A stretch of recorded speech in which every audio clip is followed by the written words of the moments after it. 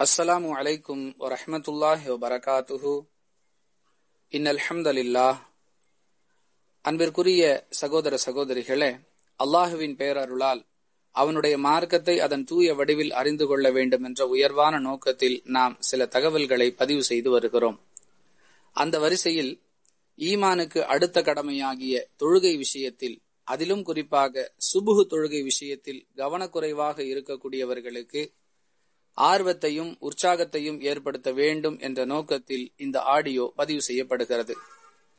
அன்பானவர்களே தொழுகையில் கவனக்குறைவாக இருக்கக்கூடிய ஒவ்வொருவருக்கும் குறிப்பாக சுபுகு தொழுகையில் அலட்சியமாக இருக்கக்கூடிய ஒவ்வொருவருக்கும் நாம் செய்வது தவறு என்று தெரிந்திருந்தும் தொடர்ச்சியாக அந்த தவறில் நீடித்துக் கொண்டிருக்கின்றோம்.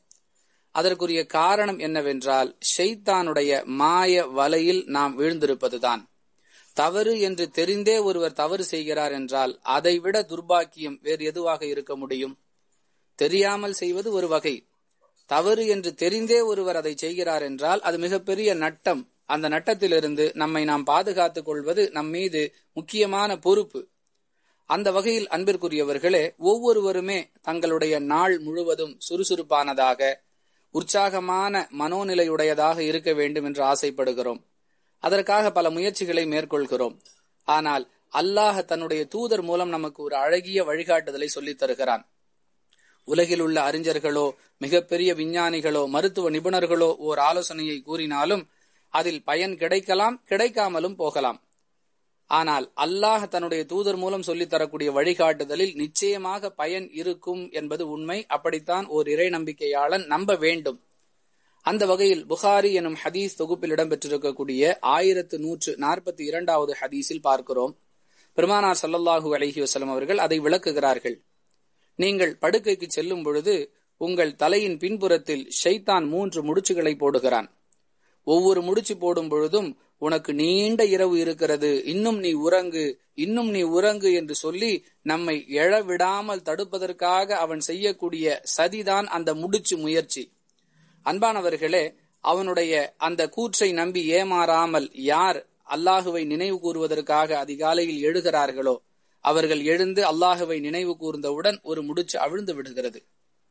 பிறகு அவர்கள் தொழுகைக்காக ஒலு செய்தால் இன்னொரு முடிச்சு அவிழ்ந்து விடுகிறது. அவர்கள் தொழுகையில் நின்று விட்டால் மூன்றாவது முடிச்சும் அவிழ்ந்து விடுகிறது. இதே நிலையில் அவர்கள் காலை பொழுதை அடைந்தால் அந்த காலை பொழுது என்பது அவர்களுக்கு உடல் ரீதியான சுறுசுறுப்பையும் மன ரீதியான உற்சாகத்தையும் கொடுக்கக்கூடியதாக இருக்கிறது. மாற்றமாக யார் இவ்வாறு செய்யவில்லையோ அவர்கள் சோம்பேறித்தனத்துடனும் மனக்குழப்பத்துடனும் அந்த நாளை கழிக்கின்றார்கள் அந்த காலை பொழுதை சந்திக்கின்றார்கள் என்று அல்லாஹுடைய தூதர் விளக்கம் அளிக்கிறார்கள் அன்பானவர்களே கேட்கும் பொழுதே உற்சாகமாக இருக்கிறதா இல்லையா?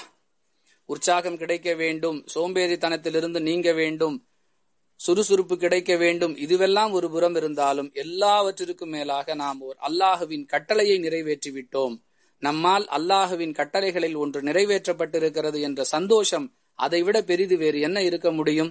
இதற்கு மாற்றமாக இவ்வாறு செய்யாதவர்கள் என்ன நிலையை அடைவார்கள் என்பதையும் அல்லாஹுடைய தூதர் குறிப்பிடுகிறார்கள். அன்பானவர்களே மழை பெய்து கொண்டிருக்கிறது குளிர்காலம் துவங்கிவிட்டது காலை பொழுதில்தான் நன்றாக உறக்கம் வருகிறது எனவே சுபுகு தொழுகைக்கு எழுந்திருக்க வேண்டும் என்று ஆசைப்பட்டாலும் முடியவில்லை. இப்படிப்பட்ட காரணங்களை சொல்வதை விட்டுவிட்டு எழுந்து தொழுகையை நிறைவேற்ற முயற்சிப்பதுதான் சரியான நிலை. இன்னும் சிலர் நாங்கள் இரவில் படுப்பதற்கே நேரமாகிறது அதனால் எழுந்திருக்க முடியவில்லை. இப்படி ஒரு காரணத்தை சொல்லுகிறார்கள்.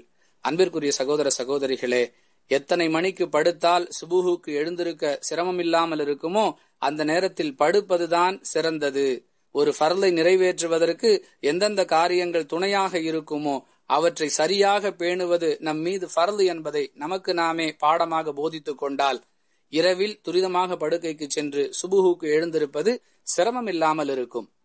இப்படிப்பட்ட முயற்சிகளை மேற்கொள்வதன் மூலமாக இன்னும் குரானிலும் ஹதீஸிலும் இது தொடர்பாக சொல்லப்பட்டிருக்கக்கூடிய செய்திகளை படித்து நமக்கு நாமே அவ்வப்பொழுது பாடம் சொல்லிக் கொடுத்துக் கொள்வதன் மூலமாக நம்முடைய வணக்க வழிபாடுகளில் ஒரு முழுமைத்தன்மை ஏற்படும். குறைகளை விட்டு நாம் பாதுகாப்பு பெறுவோம். அல்லாஹ் உதவி செய்வானாக. வாஹிரு தஅவானா அனில் அஹமதுல்லாஹி ரபில் ஆலமீன். அஸ்ஸலாமு அலைக்கும் வரஹமத்துல்லாஹி வபரகாத்துஹு.